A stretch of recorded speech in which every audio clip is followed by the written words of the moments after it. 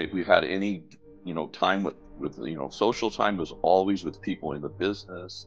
It was just a hundred percent, one hundred percent focused on building the business and nothing else for five straight years. But our income went from uh, first year we made eighteen thousand dollars part time. Second year I made thirty five thousand dollars full time. Third year I made eighty six thousand dollars. Fourth year I made four hundred nine thousand dollars. And my fifth year we made eight hundred fifty five thousand dollars. I remember hearing a story, Hector. Maybe you could tell tell everybody about. I remember you talking about being at a little retreat or something with with Rick Susie or mm-hmm. something, mm-hmm. and you were telling them that you know you were going to be successful, and you were reading all these books. And yeah, yeah, it's it's. You, remember going on that little? Yeah, oh, absolutely. Totally remember like it was yesterday. You know, we we, we they wouldn't allow. um our spouses on these retreats. So it was just Rick and I. We we roomed in the same room, and we were talking. We were both wanted to be successful. We were thinking about buying real estate, you know, that sort of thing. To do anything to just try to get out of, you know, to to be successful. And now Rick is my number one most successful person I've ever produced. Makes a couple million dollars a year, and um, but we started there thinking about it back then. This was like in 1979 or 80. It was a long time ago, and um, yeah, that was definitely that definitely. I, I, I, I think, I mean, did, did you ever have like a, was there an aha moment? I mean, for you in your life, I mean, maybe growing up or just at a point in your life, did you ever have that moment where you just said, enough is enough of being average and ordinary, and you just wanted to take your life to that next level? Well, yeah, I mean, I always wanted to be successful. You know, I, I, I, I was always very motivated and very disciplined, and um, I you know wanted to do. I just didn't know what that was. But there was an incident that happened when I was in the jewelry business. I had um, I had it was my son Dak, who's now just turned 40 as you just this this month actually. He's 40 years old, has two little boys, doing really no great. Way. So, but but he was turning five, and I asked. Uh, I was uh, there's a company called William Pitt Jewelers in Southern California, and I asked Steve Robbins, who's the owner of the company, if I could have three hours off for my, for his birthday. We're gonna have a birthday party and have everybody over our house, and you know, I have a big family, and it was a big celebration. Age five is a big birthday, and he told me, "No, you can't go. I need you to be there because if you go, if you're not there, uh, I'm gonna lose money. So no, you can't go to your son's fifth birthday party." Can you imagine somebody telling you that? I was so angry, so livid. I, I made that was the moment that right when that happened, I said, There's no way I'll ever work for somebody again as long as I live. I don't care if I have to work 16 hour days, seven days a week. There's no way I'm working for another human being, allowing them to have the power to tell me if I can attend an event uh, that my child was involved in. So that was that was it. I did I made that decision right then. So then I had actually already somebody had already tried to you know had already you know, recruited me into the Primerica at that time, and I just called them up. I said, you know, I know I haven't done anything. I haven't gone to any meetings. I hadn't done any sales. It had been months actually. And I said, I'm ready to get started, and and uh, that was in January of 1984. And I just from that point on, it took me about a year, and then I went full time, and you know, the kind of the rest is history. But so, so what what would you say to people that right now? I mean, when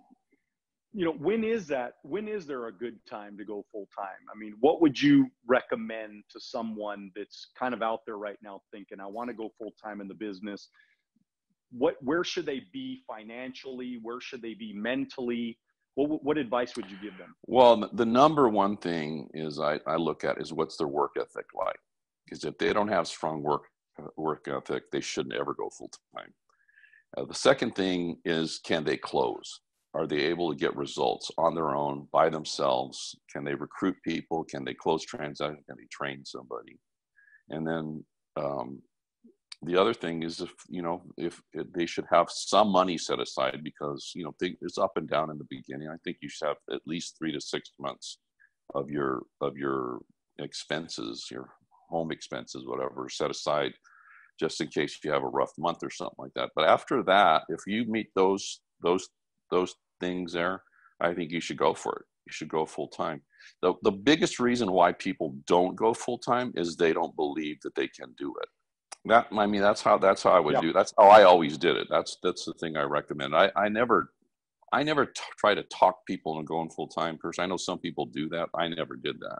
What I did is I prepared them to go full time. I made sure I taught them how to close, how to prospect, how to set appointments, how to do a great presentation, how to overcome objections, how the product works, how to recruit somebody to a kitchen table, and how to get somebody off to a fast start. If they know how to do those things, they should go full time. Yeah, totally agree. I mean, I, I, mm-hmm. I think, I mean, I look back when I went full time, it was only because I knew what I was doing. Yeah. And and the way I knew what I was doing is I I studied the material. I mean, I right. took your I took your scripts. You had lots mm-hmm. and lots of scripts back right. then. Mm-hmm.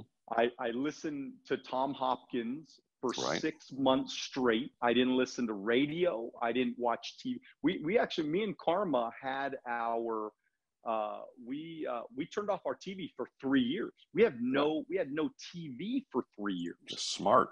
And so we just put our head down. And so mm-hmm. tell me about like you and Jan. You know what kind of decisions did you make early on to just get this thing done? Like just get it done and over with. What what decisions did you make?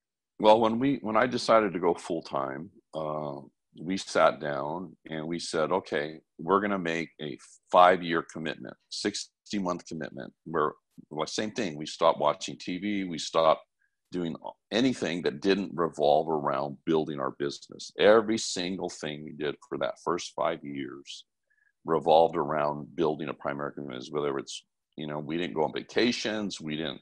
Uh, we if we had any you know time with with you know social time was always with people in the business it was just a hundred percent 100% focus on building the business and nothing else for five straight years but our income went from uh, first year we made $18000 we were part-time second year i made $35000 full-time third year i made $86000 Fourth year, I made $409,000. And in my fifth year, we made $855,000.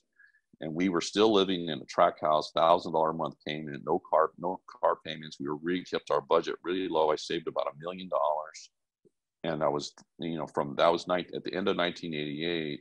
We were debt, not debt free, but almost debt free, and we're totally financially independent after five years of just total unadulterated focus. Most people don't do that. They're they're not they're not focused. They don't make a total commitment. You know i i, I made a we made a both of us made a total commitment.